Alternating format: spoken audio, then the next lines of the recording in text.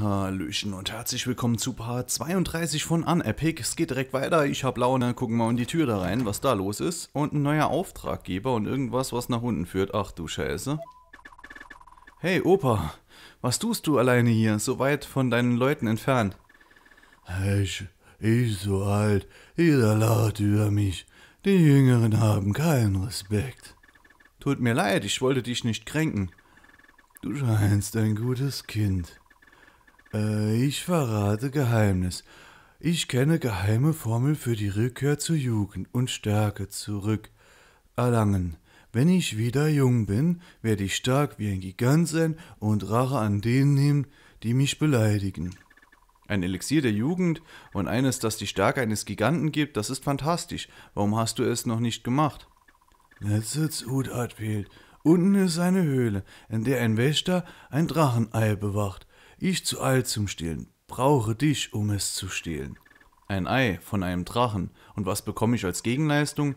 Hilfst du dem Alten, wird der alte magischen Ring der Stärke von Kolzarek dir geben. Der Ring verleiht Stärke im Kampf. Wichtig ist nicht, das Ei zu zerbrechen. Bringe mir ganzes Ei, du verstehen?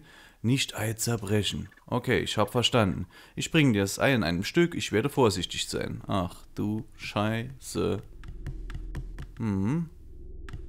Äh. Ja, das sieht doch fast zu einfach aus. Was mit den Pilzen da? Nichts, okay. Hä, ist hier irgendwas? Oh nee, das da wird definitiv ein... Oh, scheiße! Bin ich erschrocken. Das ist jetzt nicht wahr. Das da ist nicht wahr. Ey, bin ich erschrocken. Ach, jetzt seh... Hä? Seht ihr da oben das? Die Pilze bewegen sich. Ah, und mein Begleiter greift die an. Kann ich die auch an... Ja, ich kann sie auch angreifen. Alter Schwede, bin ich erschrocken. Ich kann es euch gar nicht sagen. Alter Schwede. leck. ich weiß, ihr lacht euch kaputt, das ist behindert, aber ja, was soll ich denn machen? Alter Schwede. Alter, alter, alter. Ich kann es gar nicht oft genug sagen. Ach, fuck. Hä, wo ist das Drachenei jetzt? Was wollen die von mir? Da hinten drin, okay. Machen wir. Ach so, Heilpflanze ist vielleicht hier jetzt nicht der richtige Begleiter. Wobei es geht, komm. Ja, komm, wenn ich vorne wegtanke, wird er mich von hinten immer schön heilen. Ist auch in Ordnung. Ist mal eine andere äh, Taktik. Ja, was wollt ihr mal gegen irgendeinen Ring der Stärke? Ja, jetzt greifen die natürlich über beide Distanzen an. Coldax wäre wahrscheinlich hier die richtige Wahl, aber die, wie gesagt, der Pflanzenmann ist auch nicht schlecht. Heilung ist nie verkehrt. Ähm, der hat nicht mitbekommen, dass ihm jemand ins Kreuz geschlagen hat. Jetzt vielleicht? ist das so geil. Ah nein, was mache ich denn? Heil dich, Pflanze. Jo. Ah, das macht aber so Laune. Es ist so sinnfrei.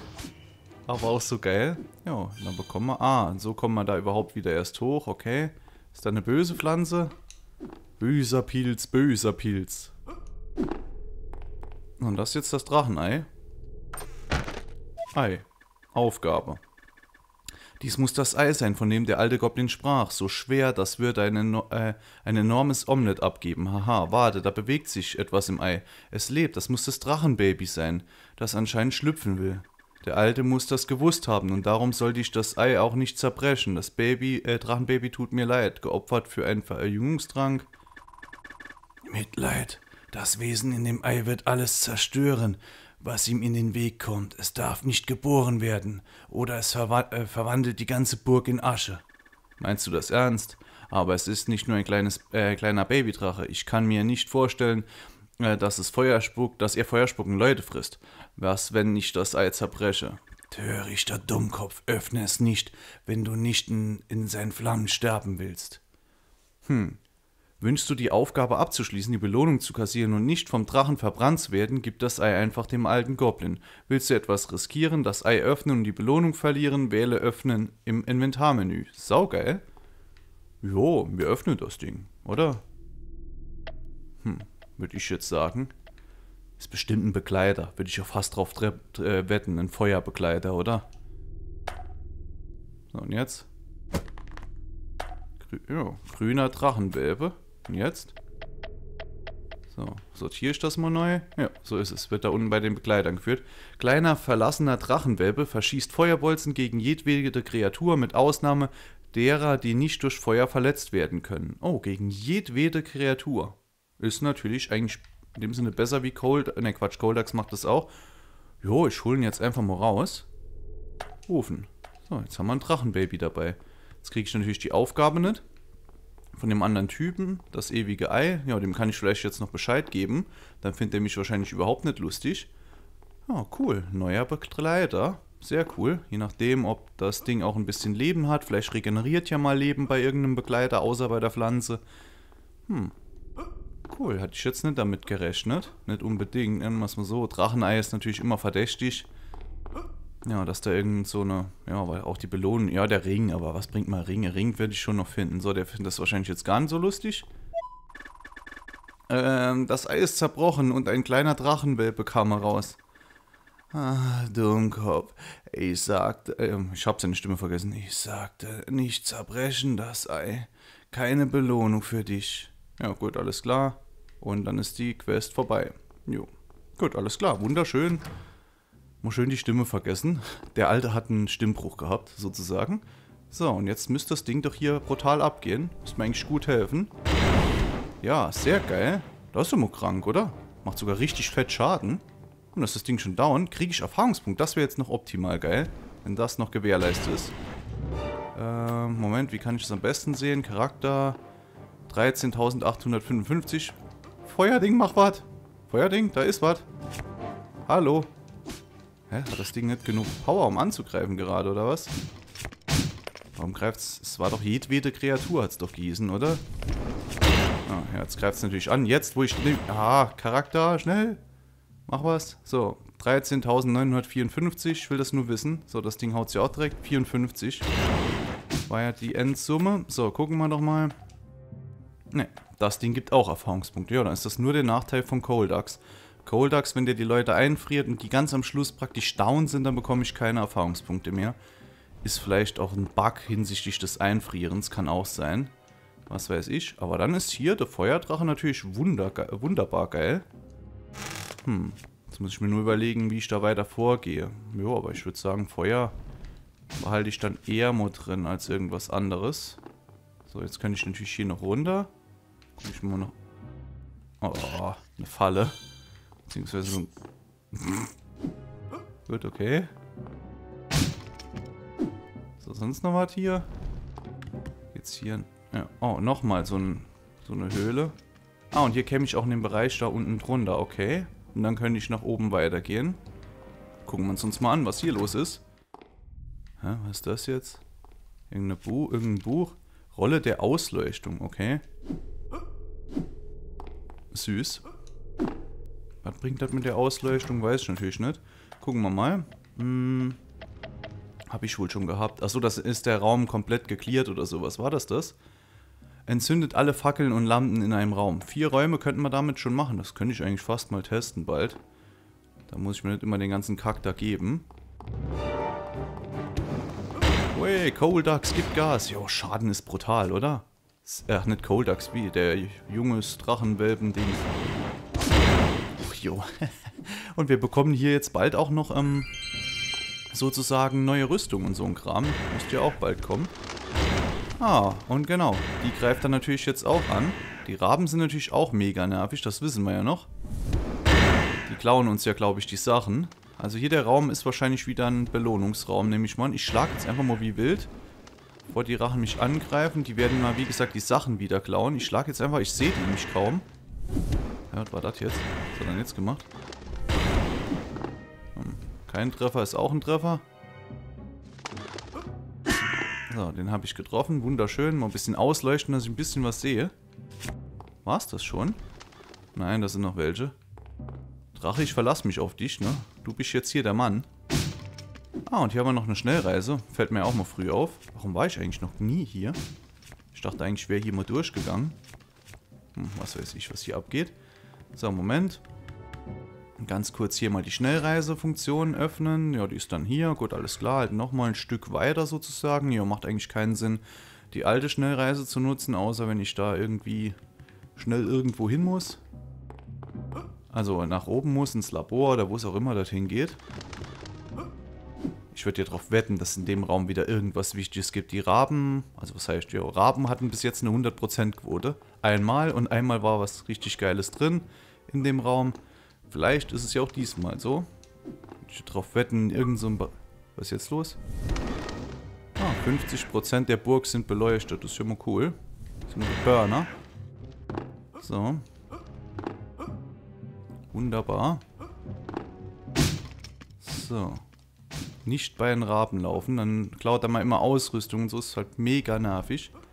Ah, da haben wir ja was. Jo, genau. ah, ich hasse das. Bestimmt kommt das auch noch bei irgendeinem Boss. Irgend so eine Sache, wo man da Jump-Run-mäßig davor gehen muss. Dann kriege ich jetzt schon die Krise. So, jetzt aber. Hammer des Schmiedes. Sag ich doch. Das war so klar. Komm, jetzt was Geiles. Stab der Verwandlung mal wieder. Hm. Ist dir so viel da... Hm, komisch. Stab der Verwandlung. Achso, Moment. Ich habe ja damals den Zauberstab. Ne, das war ein Zauberstab auch. So, wie sieht's hier aus?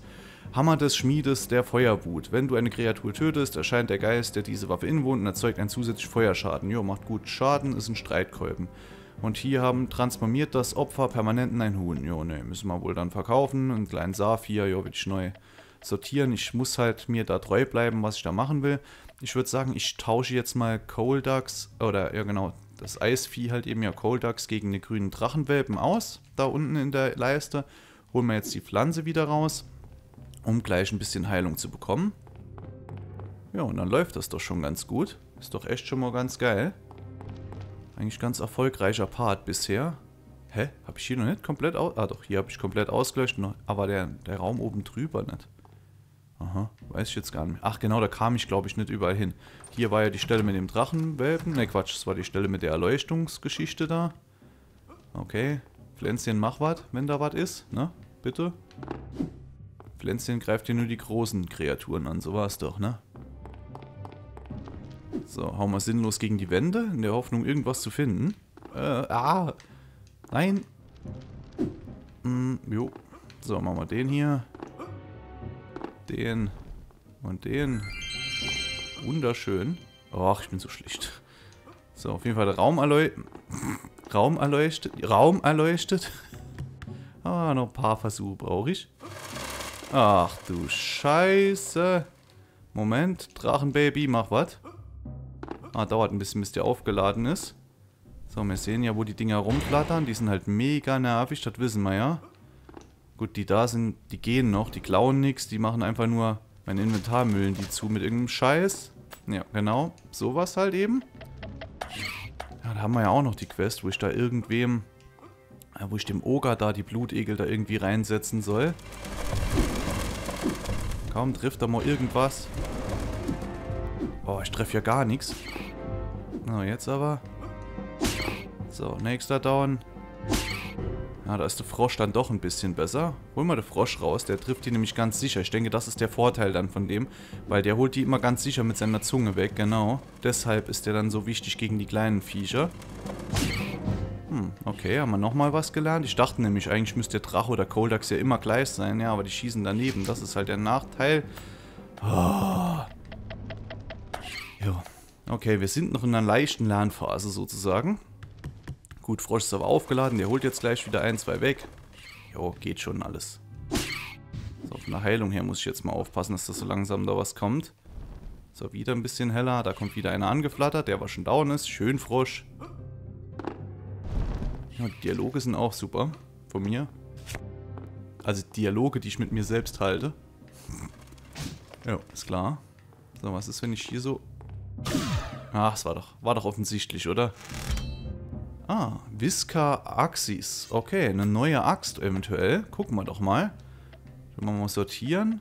So, wir hatten die ganze Zeit die Doppelachsen. Jetzt hätten wir die. Vixa, äh, was? Visca Axis. Schaden 180. Chance auf kritischen Treffer bei Echsen mit äh, 6%. Verursacht dreifachen Schaden bei einem kritischen Treffer. Hui, das ist natürlich schön. Aber wir brauchen einen neuen. Stufe 9 brauchen wir da.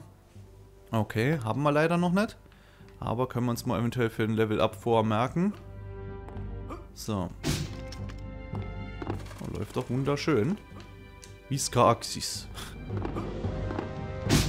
Da bin ich mal gespannt, was für, eine que was für Quests hier in dem Bereich noch kommen. So, wie komme ich jetzt hier rüber? Achso, da hinten, klar, logisch. Ah, da komme ich jetzt so einfach nicht mehr hin. Doch, komme ich. Hm, wo will ich weitermachen? Will ich hier? Ja, gehen wir mal nach links, komm, egal. Froschmann regelt. Hm, das war die Nummer hier. Geht's hier auch nach unten? Nee. Uhrzeit ist auch noch in Ordnung. Ah, die Aktion. So, ja, hier würde ich jetzt sagen, hier heilen wir uns jetzt hoch. Das ist eigentlich eine gute Heilungsstelle, ungefährliche Gegner. Sage ich jetzt einfach mal so. Und jetzt kann gleich mein, genau, mein Heilungsfieder angreifen. Ich kann reinmetteln. Und da gibt es Heilung. Wunderschön.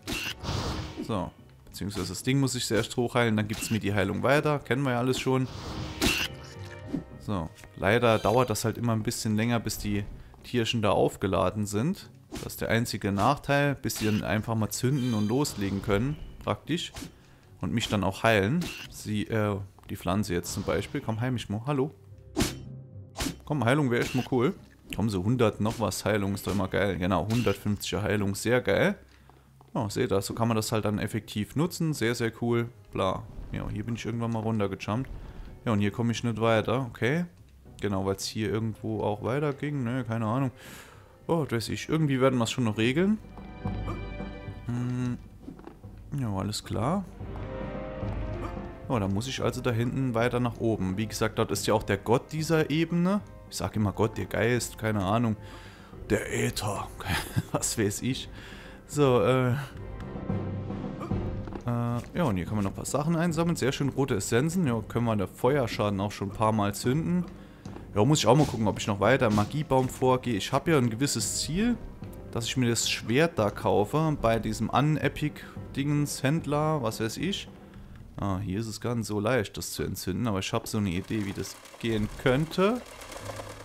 So irgendwie. Ja, so natürlich nicht. Also ich muss da runterjumpen. So, oben brauche ich definitiv wieder den Froschmann. Das können wir schon mal sagen. Dann kann der sich schon mal laden, bis wir oben sind.